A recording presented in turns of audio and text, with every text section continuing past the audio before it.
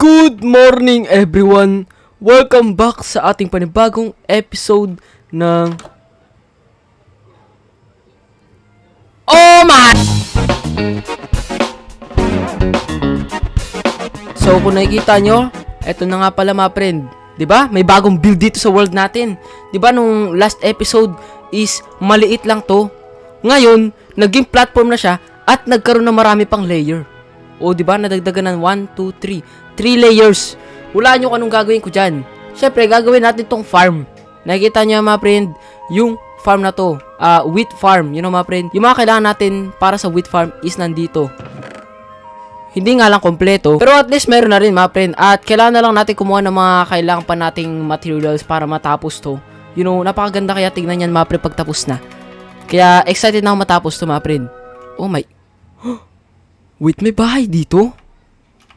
Oh my god. Bahay ba to ni Selimas? Ito ata yung bahay ni Selimas mga friend. Ba't ganito? Ginamit niya yung dirt paggawa ng bahay. What is this? Uh, ano yan? Gumamit siya ng dirt? Uh, pang noob lang gumagawa niyan eh, mga noob. Mga noob lang gumagawa niyan, mga friend. Tingnan natin loob ng bahay niya. Oh my... Ba't walang laman? Uh, so poor. Oh my kulay. Ah... ano ba? Gusto ko pa naman mag, ano, gusto ko pa naman tignan yung mga items niya kaso wala pa ata siya items eh, you know. Ah, wait. Tara, isama muna tayo. Oy! Kinagawa mo dyan? Ay, bahay mo ba to? Ay, ay, sorry naman. Sorry, sorry. Sorry, sorry, sorry, sorry. Sorry, alis na po ako. Ah, sorry ulit ah. Sorry ulit. Sige. Kailangan natin dito, mga friend, ng wood. You know, kailangan, sa pakiramdam ko, kailangan natin mas maraming wood dito eh. Para matapos to. Para magagawa tayo ng fence dyan. You know. And then, dito, maglagay tayo ng fence dyan para malagyan natin torch para wala mag-spawn na mobs. Di ba mga friend? Marami pa ang plano dito. At tatapusin natin yan sa video na to mga friend. You know, kaya don't worry. Everything is going to be fine. As long as hindi mangulit sa atin yung siyan. Ayan oh. As long as, as hindi yan mangulit sa atin. Di ba? Unang tingin mo pa lang parang mangungulit na eh. Awit eh. Ayos na tayo dito mga friend.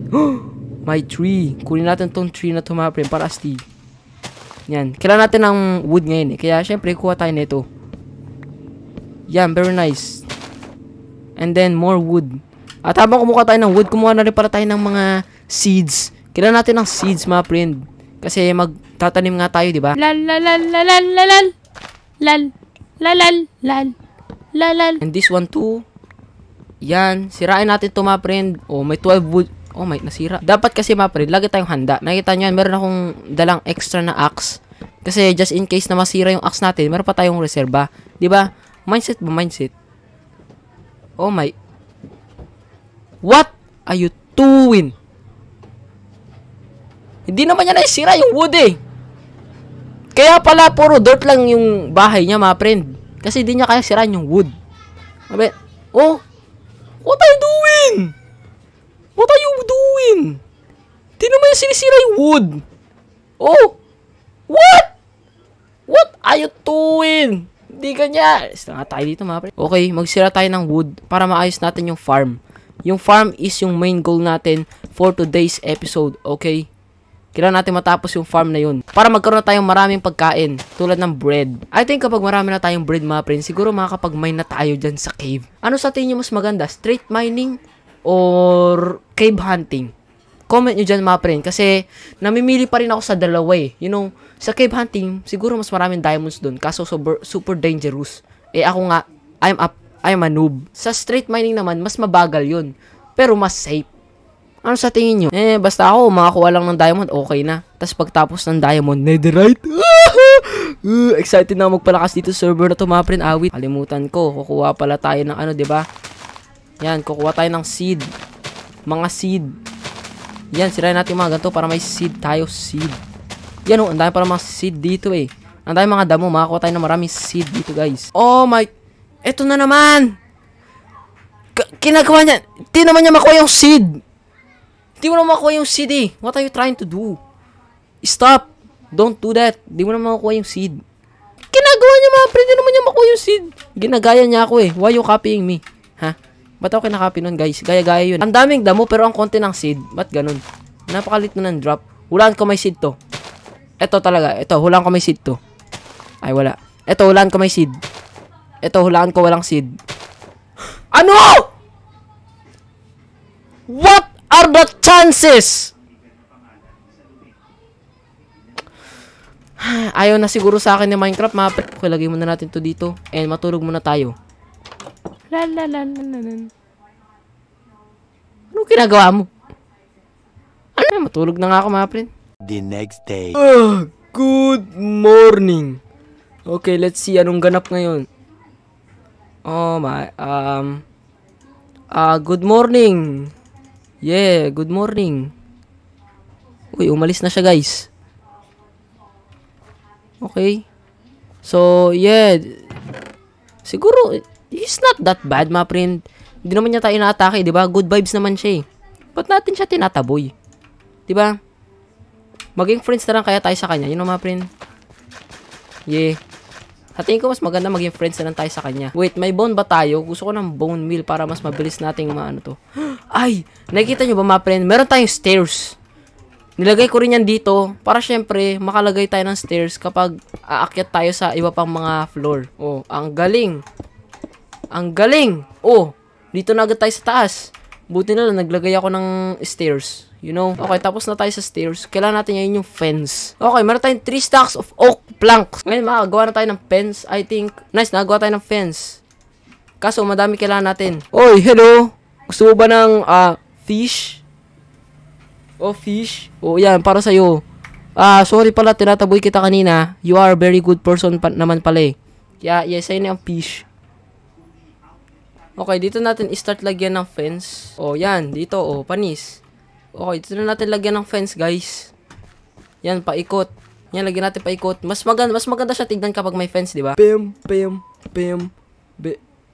Um! Ah, hello? Uy! Ah, tutulong, tutulungan mo ko? Ah, sige, sige, sige, sige. Ah, sige, mag-plant ka dyan. What the... Anong ginagawa nun? Um... Ah, okay. B- very nice, very nice job. Wow, ang galing magplanta. Wow, ang galing. Ah, galing magplant. Ang galing, may na-plant ka nga. Ang galing naman. Ang galing mo naman, idol. Paturo naman. Ang galing magplant. Galing na... Oh, panis na... Sige, ah. Tapusin ko muna to, ah. Sige. Lagyan natin yung ladder, guys. Para habang umakit tayo, di tayo malaglag. You know, dapat safety first pa rin. Safety first. Pwede na to pang starter base natin, di ba na, mga friend? Pwede na to para sa starter base natin. Ang ganda tignan. Di ba? Ang ganda. Ang ganda sa eyes tignan. You know, mga friend? Kaso mas maganda to sa eyes tignan kapag may mga ano na siya, may mga plant na. Uy, may tumubo na dito sa tinanim natin. Oh, di ba? Dito tayo kumuha ng wood. Dito tayo kumuha ng wood ngayon. The next day. Good morning. Oh, Mike. Uh, what a beautiful day para magkuha ng mga wood. Ah! Ah! Ay, gulat ako. Kala ko nakakatakot na something. Oh, patay natin yan. Oh no, I'm gonna die. Oh no, I'm gonna die. I'm gonna die. Muntik na akong mamatay doon. Awit. Delikado yun. Sinubukan kong patayin yung Aquaman, mga pre. Kaso, awit. Gusto ko mapatay yung Aquaman na yun. Meron siyang ano eh. May trident siya eh. Kaso wala ako shield. Oh no, I'm gonna die. Oh! Awit, ang lakas ng trip. Lagot ka sa akin. Lagot ka sa akin, drone ka. Mm, makakulit ka. Makulit ka. Pinatay mo pa ako ah. Another day, another beautiful day. Sisirain natin tong mga to hanggang sa masira yung... Hanggang sa masira yung axe natin. Later. Uy! La! Nasira na! Ito yung mga wood na nakuha natin. Oh, ang dami. Ang, madami na rin. And 63 again. And another... Ang dami! Yo! What is this? Three stacks of oak fence. May pasobra dahil special ka?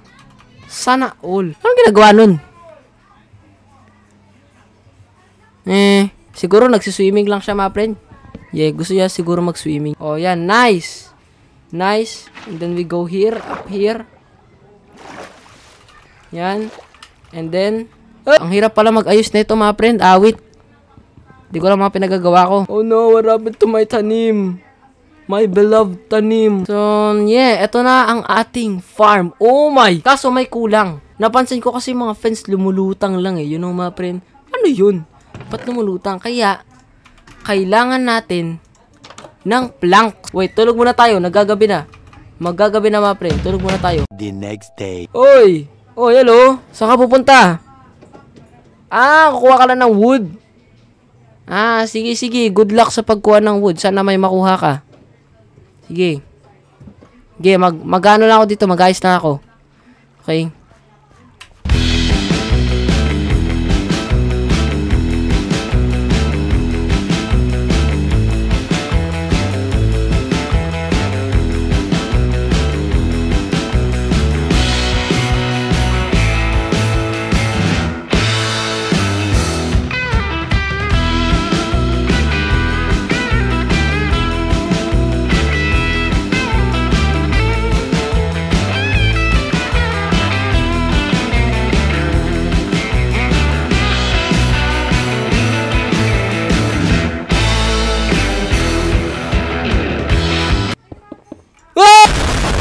Nalaglag ako! Awit. Awit. Ayun ang sinasabi ko. eh. Kaya sinasabi ko, dapat safety first muna. 3 hearts na lang tuloy tayo. Look at, why? Ngayon, ang kailangan na natin lagyan, yung stairs. Panis! Ang gali, ang ganda na neto guys pagkatapos. Ang ganda na neto pagtapos.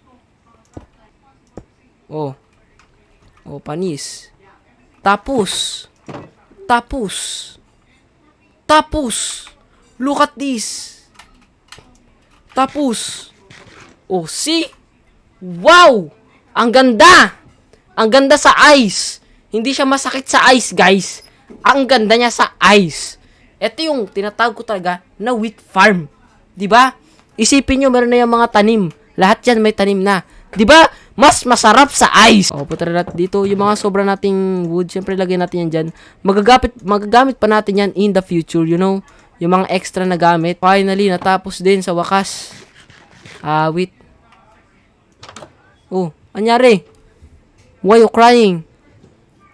Ha? Wala akong makuha wood. Wait, what? Nagsasalita ka?